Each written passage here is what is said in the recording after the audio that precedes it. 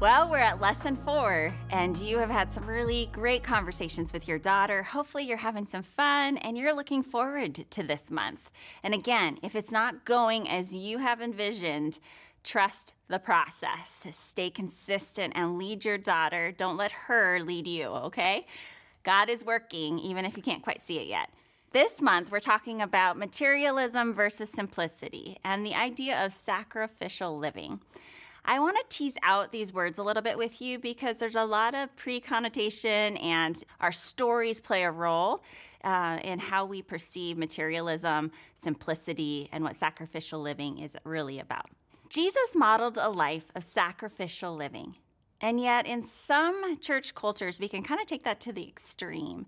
And we create a dynamic with, that's called codependency.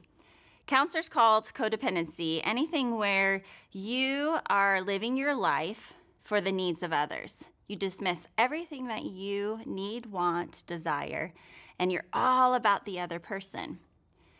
As you listen to that, you might go, Well, isn't that what the Bible says? And I want us to be careful that we don't teach our daughters to be codependent, but rather interdependent. This is a concept that, you know, even Jesus said himself that the greatest commandment is to love others as you love yourself. There's this both and that we want to teach our daughters. So when we're thinking about uh, growing confidence in our changing body, it's normal that girls will look at uh, clothing and hairstyles and looking to our outer appearance to make us feel more confident.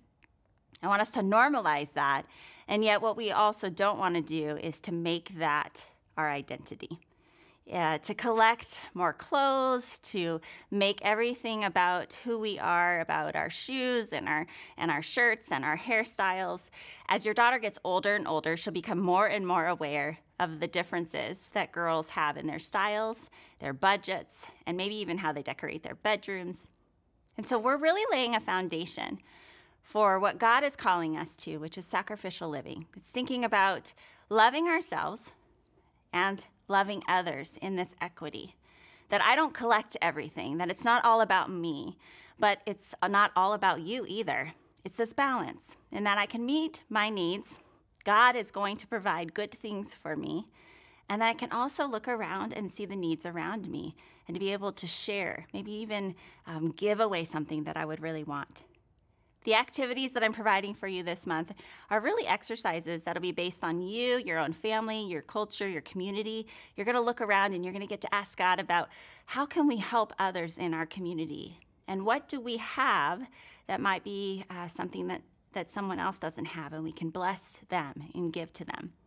This is something we think about often around the holidays, like Thanksgiving and Christmas, and we just want to expand our paradigm to the rest of the year.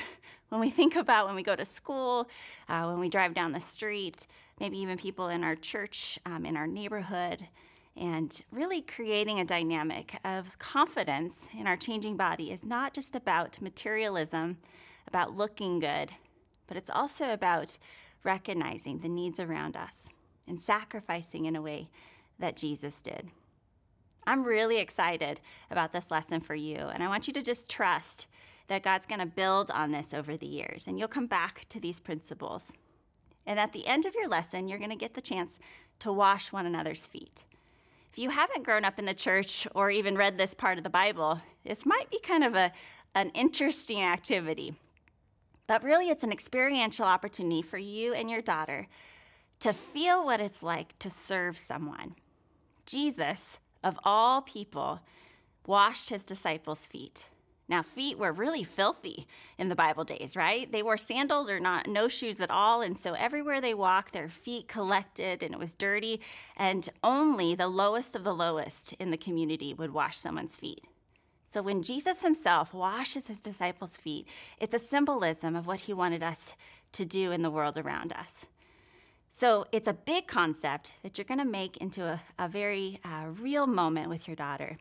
Have fun washing one another's feet, thinking about what it is to serve one another and not always take in a world that's telling us we need more and we need to become more and uh, a consumer mentality.